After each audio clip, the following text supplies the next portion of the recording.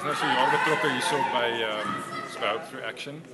En die ding, een van die dinge waarvan ek die meeste hou is dat dit gaan oor action.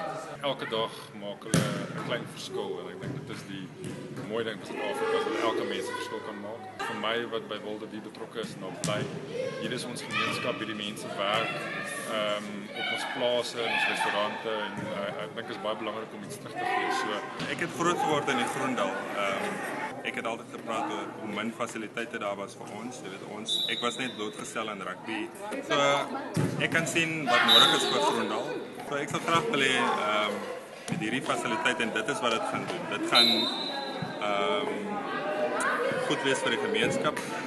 Die kinders ehm um, gaan iets anders hê om te doen of meer het om te doen. Huidiglik het ons net een rugbyveld en 'n basiese fasiliteit daar. Dit kan net goed wees vir die kinders van van die groep. Die ouers is natuurlik uh, baie optimisties hieroor net soos ek. En ek dink dit gaan die hele Groendal en die Beier Franschhoek gaan dit natuurlik bevorder.